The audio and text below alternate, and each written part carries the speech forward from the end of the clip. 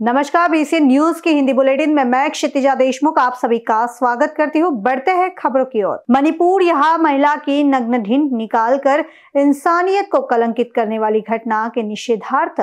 सोमवार की सुबह नौ बजे हिंगनघाट के महात्मा गांधी चौक से मुख्य निषेध मोर्चा का आयोजन किया गया था। स्थानीय महात्मा गांधी पुतला से कारंजा चौक, विठोबा चौक अंबेडकर पुतला चौक से शहर के मुख्य मार्ग से होते हुए तहसील ऑफ़िस पर मुख मोर्चा पहुँचा। उप विभागीय अधिकारी को इस गंभीर घटना पर सामाजिक संगठन द्वारा ज्ञापन दिया गया। मणिपुर की घटना का शहर के अनेक सामाजिक संगठन विद्यार्थियों ने शहर नागरिकों द्वारा निषेध व्यक्त किया और ऐसी घटना कदा भी बर्दाश्त हो नहीं सकती। इस घटना से समाज की महिला वर्ग में भी दहशत हो रही है। देश में इस तरह की इंसानियत को कलंकित करने वाली घटना का जितना निषेध किया जाए, उतना कम है। ऐसी भावना अनेकों ने इस वक्त व्यक्त की। इस मुख्य मोर्चे में बड़ी संख्या में नागरिक, सामाजिक संगठन, महिलाएँ व स्कूली बच्चों ने शामिल होकर इस घटना का निषेध व्यक्त किया। इन न्यूज़ के लिए हिंगन घाट से रवि की रिपोर्ट। असम राज्य की गुवाहाटी में पुलिस विभाग और असम के वन विभाग के संयुक्त अभियान में 28 जून 2023 को बाघ के अवैध शिकार के मामले में हरियाणा राज्य की बावरिया जनजाति के तीन व्यक्तियों को बाघ की खाल और हड्डियों के साथ गिरफ़्तार किया गया। उनसे प्राप्त प्रारंभिक जानकारी के आधार पर वनजीव अपराध नियंत्रण ब्यूरो नई दिल्ली ने 29 जून 2023 को सलाह दी थी कि देश के सभी प्रमुख बाघ अभ्यारण्यों के आसपास के क्षेत्रों में बाघों के अवैध शिकार की संभावना है। तदनुसार उक्त शिकारियों ने चंद्रपुर और गढ़चिरौली के क्षेत्र में कैसे शिकार किया, इसकी पुष्टि करने और इसके बारे में अधिक गुप्त जानकारी प्राप्त करने के लिए क्षेत्रीय निदेशक ताड़ोबा अंधारी टाइगर रिज़र्व ने तीन सदस्यीय टीम को गुवाहाटी भेजा।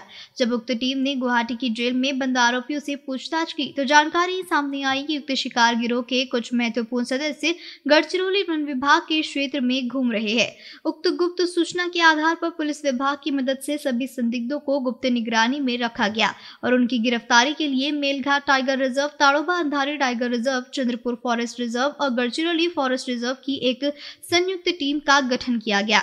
उक्त टीम द्वारा 23 जुलाई 2023 को दोपहर दो बजे स्थानीय पुलिस की मदद से और उपस्थित से गढ़चिरौली के पास अम्बे शिवनी में छापेमारी की गई। छियालीस हज़ार नगद जब्त किए गए। साथ ही वहाँ रहने वाले सभी संदिग्धों, छह पुरुष, पाँच महिलाएँ और पाँच बच्चों के पूछताछ के लिए हिरासत में लिया गया। साथ ही संदिग्धों से मिली जानकारी के आधार पर करीमनगर तेलंगाना और धूले, महाराष्ट्र से भी संदिग्धों को हिरासत में लिया गया। इनमें वन विभाग, तेलंगाना और पुलिस विभाग, तेलंगाना का बहुमूल्य सहयोग मिला। इन बीसी न्यूज़ के लिए राजकुमार मोहड़ के साथ क्षितिजा देशमुख की रिपोर्ट। शहर और परिसर में लगातार बारिश हो रही है, लेकिन इस बारिश से बचने के लिए अनेक निराधार, वृद्ध, दुर्बल व्यक्तियों को विकट आर्थिक परिस्थिति की वजह से साधन नहीं है। समाज के ऐसे लोगों को नारायण सेवा मित्र परिवार से रेनकोट देकर सहारा दिया गया है। बरसात से बचाव करने शहर के वृद्ध निराधार, अपंग व्यक्तियों को स्थानिक कारंजा चौक में आयोजित कार्यक्रम में रेनकोट का निशुल्क वितरण किया गया। इस वक्त अशोक आंकड़े, उपाध्यक्ष PV textiles limited, Jam, Bhaiyaji Nikhade PV textiles limited, Jam, Ashok Nihani, संचालक अशोका इंडस्ट्रीज़ हिंगन घाट आदि मान्यवर के हस्ते रेनकोट का वितरण किया गया। कार्यक्रम सफलता नारायण सेवा, मित्र परिवार के सभी पदाधिकारी व सदस्यों ने सहयोग किया। मित्र परिवार के इस सेवा भावी उपक्रम की सर्वत सराहना की जा रही है। इन बीसी न्यूज़ के लिए हिंगन घाट ऐसी रवि नोरकर की रिपोर्ट। बुलेटिन में वक्त चला है, यही रुकने का। ताज़ा खबरों से रूबरू होने के लिए आप देखते रहिए बीसीएन न्यूज़ नमस्कार।